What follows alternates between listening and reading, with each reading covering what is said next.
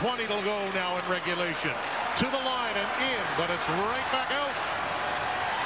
Crnkovic fans going nuts, wanting the Thunderbirds to take a crack at that open net. Can Guenther do it? Here's Crnkovic, scores!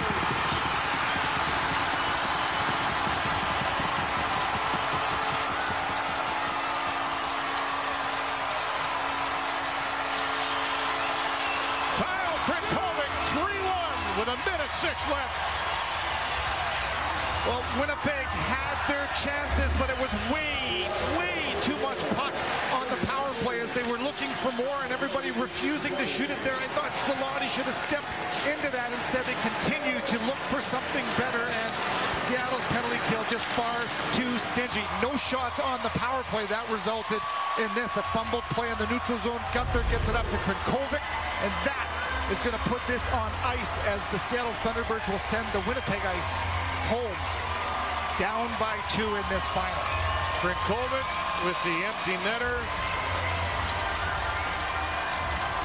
And he'll never score a finer empty netter than that one, you wouldn't have to think. Kyle Crnkovic, he's had himself a strong series. There's Briley Wood and some of the ice with the writing on the wall now. They've put up a battle here tonight. An empty net goal making it a two-minute, a two-goal disadvantage. And the fans aren't going to take a seat for a long time now.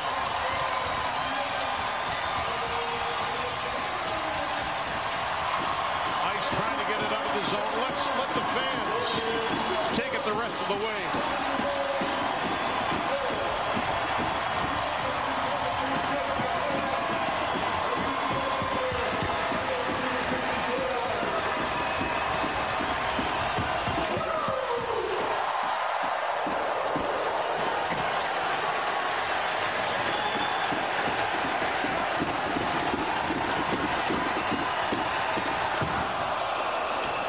And an empty net attempt there goes wide. And it is icing as Hauser went to the bench in favor of an extra attacker. But Seattle knows what's going on here. So do the fans. This team went to the final last year. They lost in six to Edmonton. They had a mission, unfinished business. Crnkovic, he effectively iced it a minute ago with that empty netter. 15.6 left.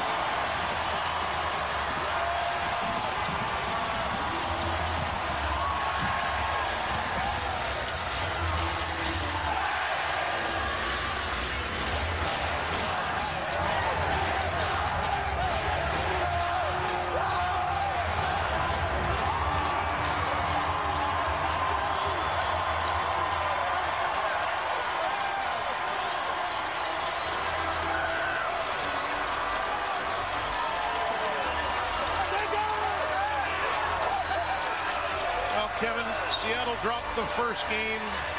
Things changed in the second. They got a couple of goals in an eight-second span. They won easily in game number three. Game four was tight.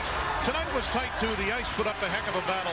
But this is some kind of team, these Seattle Thunderbirds. Are, are they ever? And they really, it starts back in September in training camp and you go through exhibition season, 68 regular season games, and you grind through four series to earn the right to hoist the Ed Chynoweth Cup and punch your ticket to the Memorial Cup in Kamloops, which starts next Friday. There's two excellent coaches shaking hands and showing respect as they guided two elite, phenomenal teams as Winnipeg Ice have nothing to hang their heads about. They made it interesting.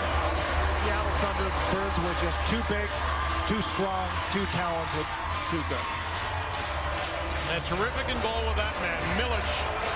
With all the great chances the Ice had, he stopped all but one. He made 30 saves on 31 shots.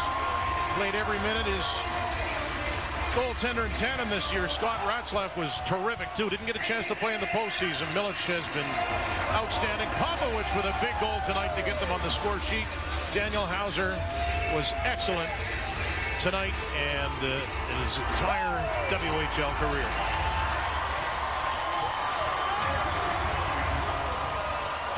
So we'll hang out with you here as long as we can, show some presentations, some reaction. Zach Benson, he was all around it here tonight. What a future this kid has, but pretty tough to tell these guys right now that the, the sun's going to come up tomorrow. Yeah, that's exactly right. Nothing makes that kind of pain go away. And as much as they have to be proud of, it feels like it's all for nothing because you don't get the final prize. And you look at the head coach, James Patrick, and the job he's done over the course of five, six years building this franchise. Matt Cockell, the general manager, the moves that he made to put this team in a position to win excellent, excellent season for the Winnipeg Ice. And there is your WHL champions and their captain, Lucas Ciona. What a series. Second time they've won the WHL championship. Last time, as Kevin mentioned a little earlier, against uh, in 2017 when Matt O'Dette was assistant coach. Well, now he wins it as head coach, and the celebrations go on here. Ciona took a penalty late, Winnipeg tried to tie it on the power play, could not get the shot selection they wanted. How about that shot of Ciona? There's Connor McClennon. Brilliant career comes to a close. Brilliant junior career, that is.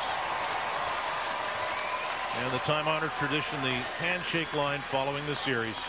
You said something a couple of games ago about the discrepancy between the 19 and 20 year olds and, and a young maybe Jonas Wu. And it, it's well said because you come into this league and, and take it from me. I, I was an 18-year-old rookie, but when you, when you show up, you're still a kid, and when you leave, you are a man because of all the things you learn on the ice, off the ice, the responsibilities, the grind. And a lot of players might not be successful hockey players when they're done in junior hockey, but they will be successful in life or set up for success because of all the lessons these young men learn along the way. And you would think that when the playoffs, before the playoffs began, not to diminish any of the other teams in the WHL, but I would think the Thunderbirds were thinking we're going to meet the ice and vice versa at some point. Some close games in this one. As Latimer, he had a terrific series. Briley Wood. There's uh, Mason Beaupit. We saw a little bit of him. There's Matt O'Dette. How much he's learned as a coach as well. It's not just about developing players, but coaches. You mentioned the assistant coach back in 2017, and that was led by Matt Barzal. And Matt O'Dette has done such a fine job here these last couple of seasons. His teams have been elite.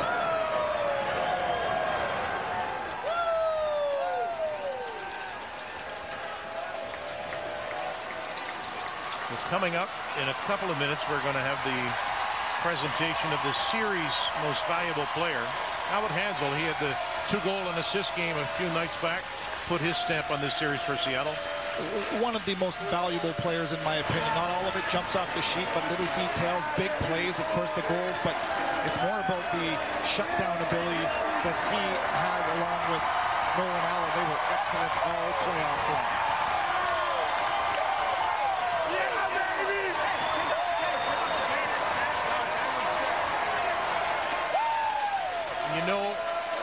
For so many of these players. They'll go on. Some will play pro, some will not. It'll be tough to find a happier moment than this for these junior age players. I think a lot of them realize that these are some of the most impactful and, and maybe even some of the most enjoyable years that they'll ever live. You look back after being a pro and it was all, the ride is excellent, right? Every, every experience is great, but when you're a junior, right? It's just a, a, group of 24, 23 guys, all with one goal. Your best friends built in, and oh, let me tell you, Dan, it's great memories. Connor McClennon finishing his season, the regular season, 92 points. He had 23 playoff points.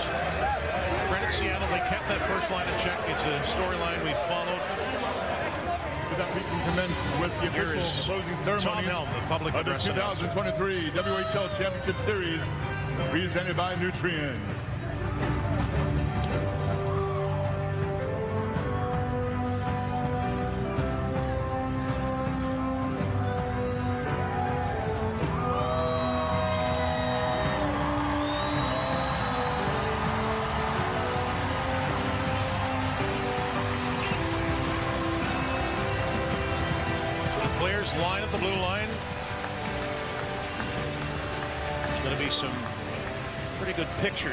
Tonight, too. Some of them right now. Here's Tom. Helm.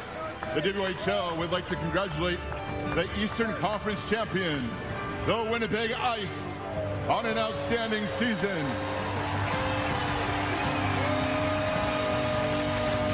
The WHL would also like to express its sincere thanks to fans across the league for their support this season.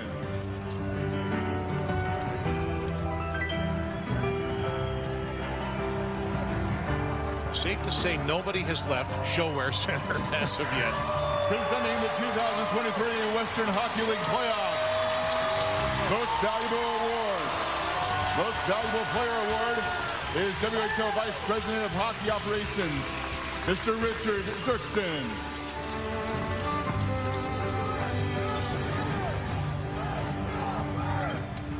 The WHL Playoffs Most Valuable Player Award is presented to the individual judged to be the most outstanding player during all four rounds of the 2023 WHL Playoffs.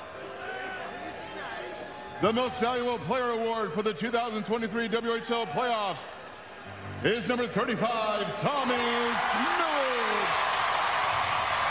And his dream season continues. Gold at the World Juniors, MVP of the WHL playoffs.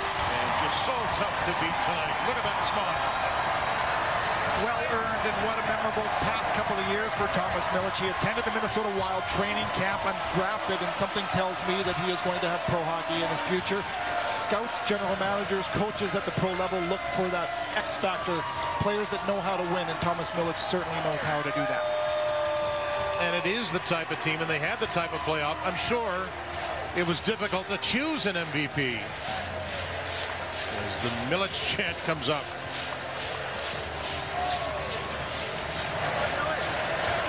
I think of the save he made with five, four minutes left in, in game four against Ostapchuk where they would have tied that game. And it was a point blank shot and he made it look easy and it almost took the wind. You can hear it, feel it coming off the bench of the ice. Some congratulations from Sachin Ladies and Mineo. gentlemen, the Kent Police Department, represented by Liam Bertolacci and Officer Tristan Thomas, accompanied by Western Hockey League Commissioner Mr. Ron Robinson, will now bring out the Ed Chynoweth Cup Trophy to center ice for the presentation of the WHL Championship Trophy. The Western Hockey League Championship Trophy, the Ed Chynoweth Cup, is named in honor of past WHL Chairman and President, Mr. Ed Chynoweth. Mr. Chynoweth, who also served as President of the Canadian Hockey League, was the driving force in the growth and development of major junior hockey for over four decades prior to his passing in April 2008. Mr. Chynoweth was inducted into the Hockey Hall of Fame in the Builder category in November 2008. And now, for the presentation of the Ed Chynoweth Cup, presented annually to the WHL champions, Western Hockey League Commissioner, Mr. Ron Robinson, will now present the Ed Chynoweth Cup to the captain of the Seattle Thunderbirds, Lucas Ciona.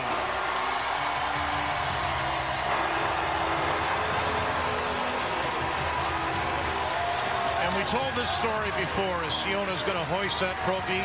Seattle waited to name a captain after the trade deadline was come and gone. They went with Ciona, and look at the smile on his face. Give me that trophy, Seth. this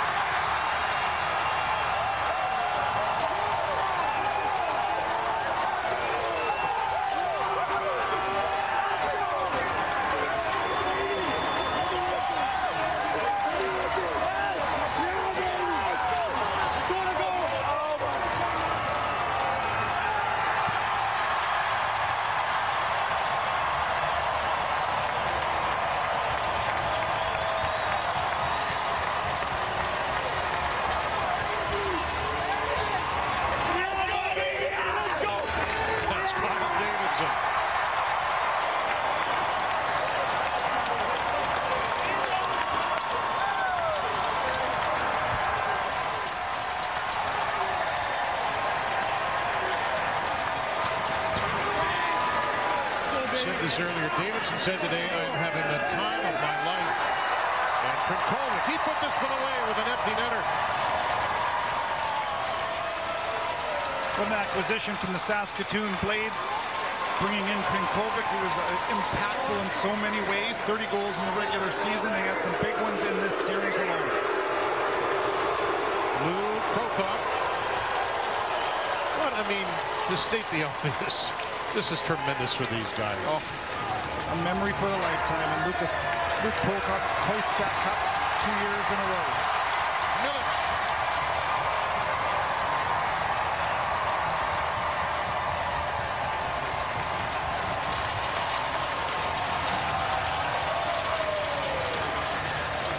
He's getting good at winning, Dan.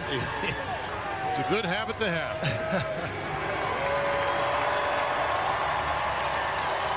Reid Schaefer, part of that first line that was just so difficult to handle. And they'll be difficult, as we've said, come a week's time at the Memorial Cup in Kamloops. A team that is as balanced as I've ever seen at the junior level. They've got the speed, the skill, the size, the goaltending, the defensive defensemen, the coaching. I mean, it, it's quite remarkable. And you shouldn't forget about a rested Kamloops Blazers team led by Shaun Clouston, of course, Logan Stankoven, Olen Zellweger. That is a remarkable team as well that will be hosting the Memorial Cup in a week's time. It was Jordan Gustafson who made his series debut tonight. Colton Dach came from Kelowna this year, added some size and strength and depth.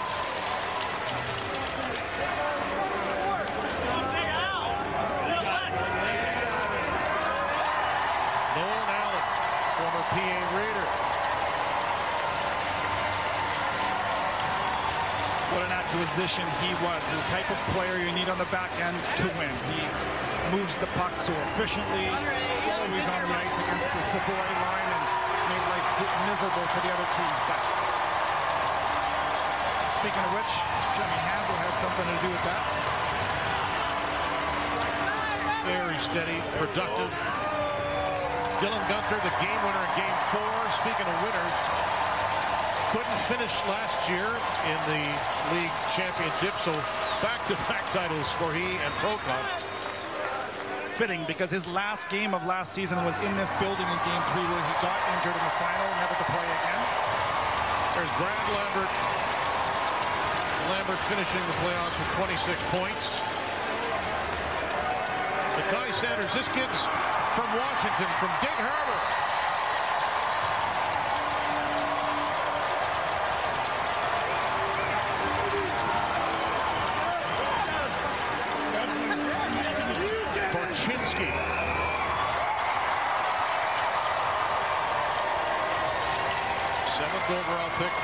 Chicago Blackhawks from Saskatoon.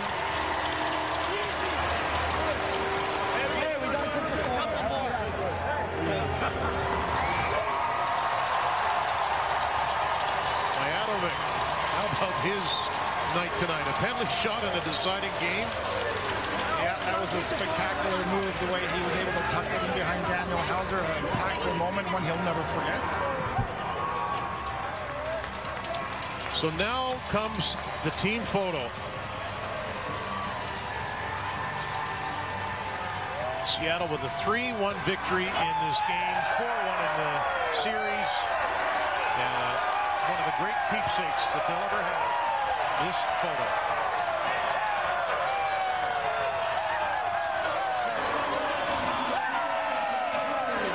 WHL champions Nation.